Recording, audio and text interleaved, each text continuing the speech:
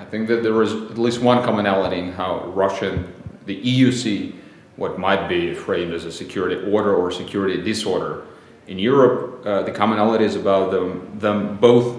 being unsatisfied with that. And Russia,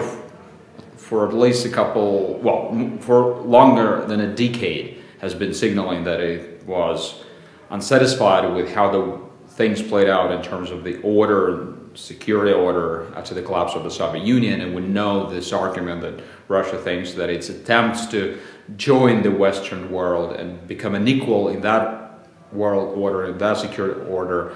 uh, failed because uh, no one in the West wanted to accept Russia. At the same time, we, we, we now see the EU, which is, well, quite perplexed by what happened in and around Ukraine and what implications it has had on the security in Europe large and more specifically in Eastern Europe. So this is the, the difference, but at the same time, it's the commonality.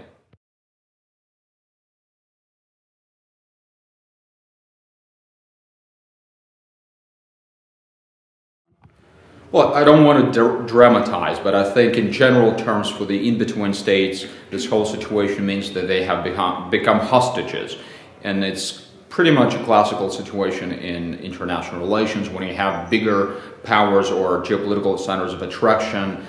fighting each other or exerting their competing powers, and then those smaller states which stand in between are sort of uh, the victims because they are the ones those powers address and well, sometimes of an attack, and they have to maneuver in this situation. But we still need to add in qualification. When you look at the in-between states, they're different in terms of how they view their own uh, strategic security. You find Belarus, which clearly realizes that the only way for it to strengthen its own sovereignty and security, for that matter, is to somehow make sure that this geopolitical confrontation subsides and that Belarus can somehow serve as a bridge which unites the two rather than uh, a factor which disunites them. But then when you look at Ukraine, they see their own future as part of the Western civilization outright. And in this particular respect, they are even ready to go as far as to provoke additional tensions between the two. And like, again, for Belarus, where I come from, this is also a huge problem because we find ourselves uh, in the center of, you know, a growing uh, security dilemma.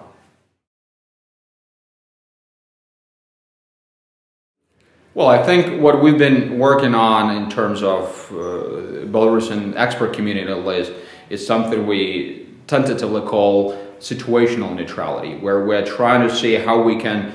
remain in the military political alliance with the Russians, both for our own security, but also to make sure that some confidence building is there on the Russian side, but at the same time try to be situationally neutral on the regional confrontation so that it offer also security and confidence, confidence building measures to Ukraine, to Poland, to the Baltic states, and to, to the West uh, in, in, a more broader sense. And I think Belarus is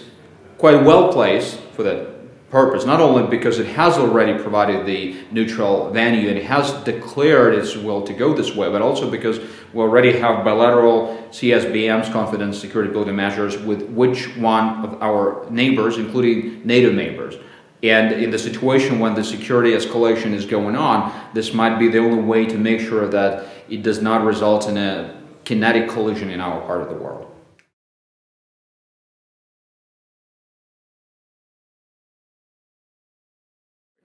Well, it's, I think one of those cases where we want to raise a glass and there are a lot of things we, we can celebrate as the 10th anniversary has approached us. Uh, for example, it has facilitated additional uh, cooperation, exchange, and context. For some countries in the Eastern Partnership, it has paved the way for uh, things like association agreement, for uh, visa liberalization, or even uh, visa-free regimes. And certainly for people on the ground, this is extremely important. Uh, at the same time, the results have been uneven. And for Belarus, which is actually primarily interested in this initiative, I would say even more than any other country, because Belarus remains uh, the single country in the region without a political agreement with the EU. So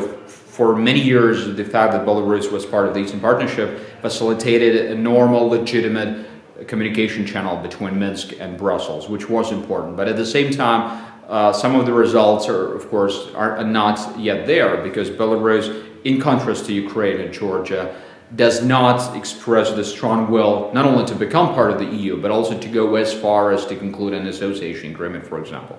And that's why I, I think there was a lot of